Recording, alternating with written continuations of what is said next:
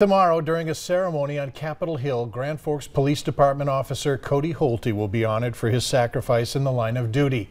The 29-year-old was killed while serving an eviction notice last year.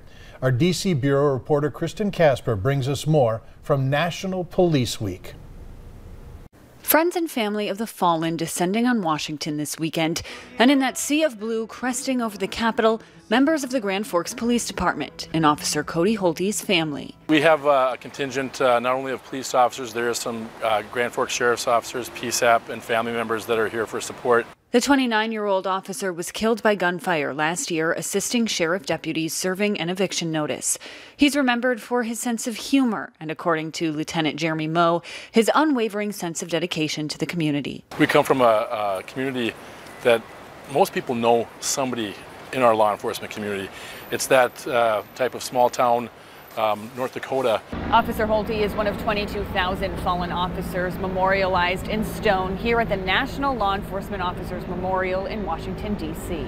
Typically, he would have been recognized during a series of annual events in May, but because of the pandemic, organizers had to postpone the traditional ceremonies a candlelight vigil, wreath laying, and naming ceremony. Patrick Yoes with the Fraternal Order of Police says it's all a critical part of the healing process for those with loved ones lost. The grief uh, that they carry is so is so strong, and it's not something they can do alone. Holte is just the second officer in Grand Forks Police Department history to be lost in the line of duty. Reporting in Washington, I'm Kristen Casper. And the annual National Peace Officers Memorial Service will be held tomorrow afternoon on the National Mall. Two playoff bound teams battle it out tonight in Thompson. It's Friday night football. We'll be there live next.